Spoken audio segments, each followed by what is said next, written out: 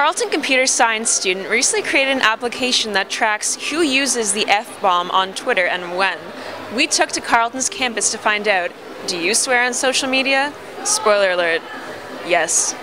So do you swear on social media? I sure do sometimes. Do you swear on social media?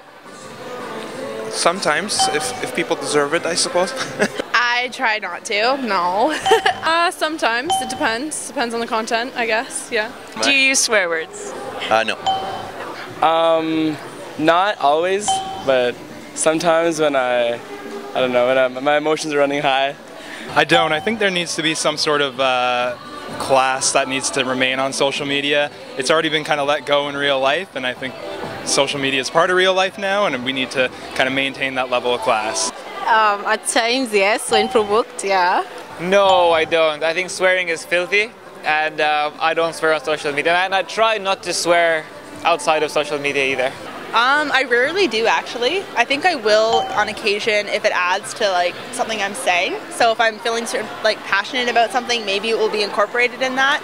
But that's just kind of uh, in a less formal way of getting my point across. But really not not often. Do you think it affects your online presence at all?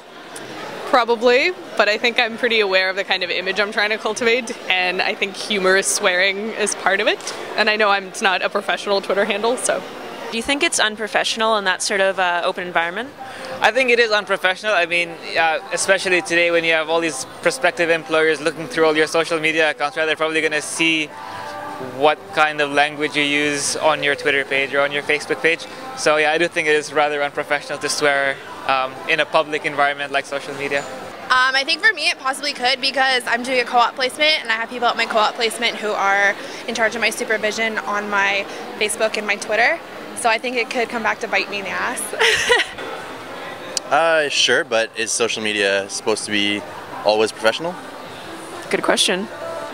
Reporting from a very foul-mouthed campus, I'm Cassie Hendry for the Charlatan.